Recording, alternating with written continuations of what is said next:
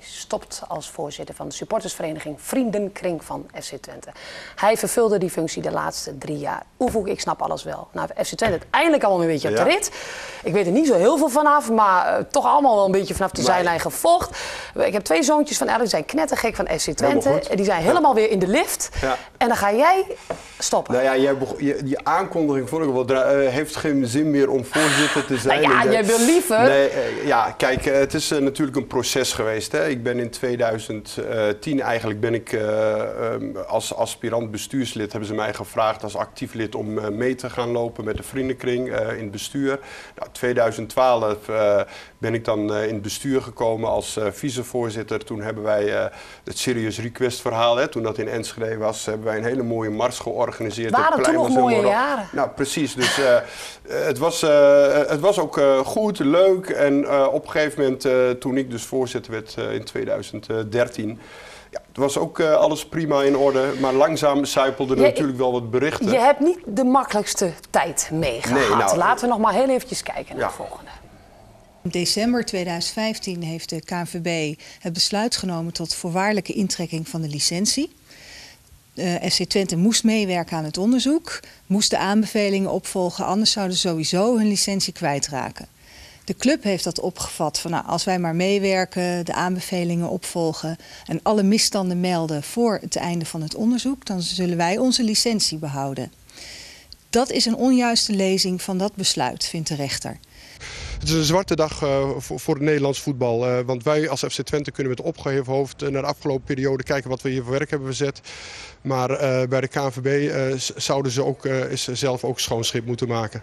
Zwarte dag voor een jongetje dat met 11 jaar de eerste wedstrijd van Twente tegen Eindhoven zag. Verknocht is Ja. in de club.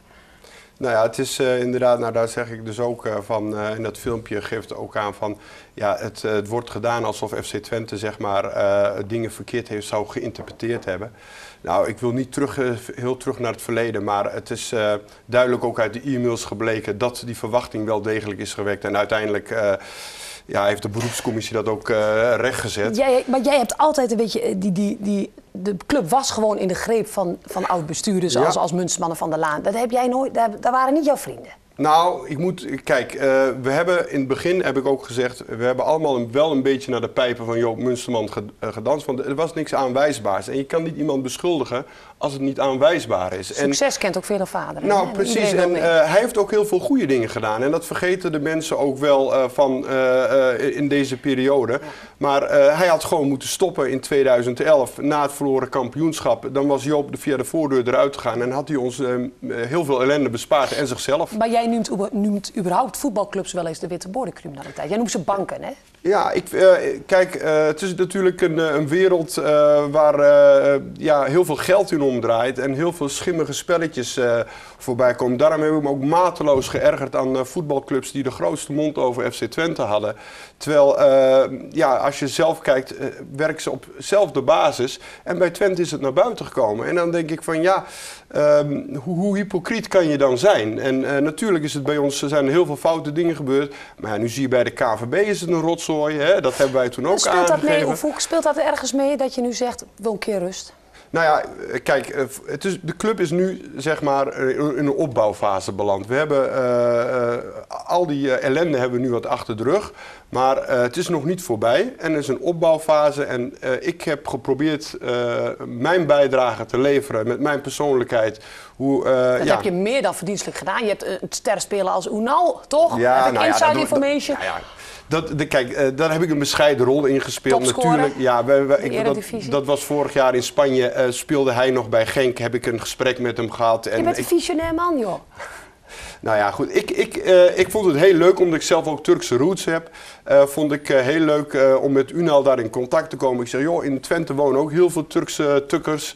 Ik zeg, wat zou het geweldig zijn als jij Dat- dat in, in was- de Grolsvesten zou Dat eh, was komen. geen verkeerde keus. Nee, en toen zei hij ook van, nou, ik vind Twente een hele leuke club. Want hij met Bursaspor hebben wij, waar hij dus vandaan komt in Turkije, hebben we toen een Europa Cup wedstrijdje gehad. Dus hij kende een beetje Twente. En toen zei ik, zal ik eens een balletje opgooien zo voor de Een grap? balletje. Maar word jij dat contact ook niet, is dat niet minder straks als jij geen voorzitter meer bent? Nee, nee hoor. Kijk, uh, ik, ik haal mijn plezier uh, van de saamhorigheid op de tribune, uh, van de sfeer, de kameraadschap. Daar haal ik, daar haal ik al mijn energie vandaan. Heb jij een bijzonder plaatsje? Ik weet dat jij het niet goed ziet. Heb jij een bijzonder ja. plekje langs de lijn?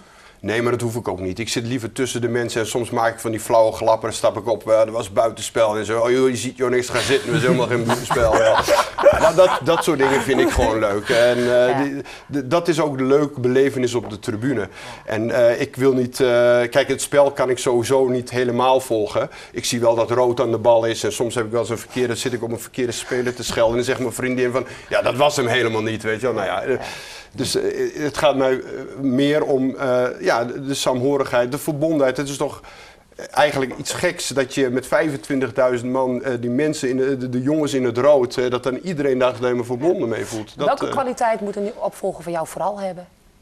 Nou, uh, iemand die heel goed ook uh, de lijn bewaakt van wat de club ook eigenlijk zegt. Uh, van of, ze, of, of men dat ook wel doet. De, kijk, er is een cultuuromslag binnen Twente nu aangaande in de organisatie.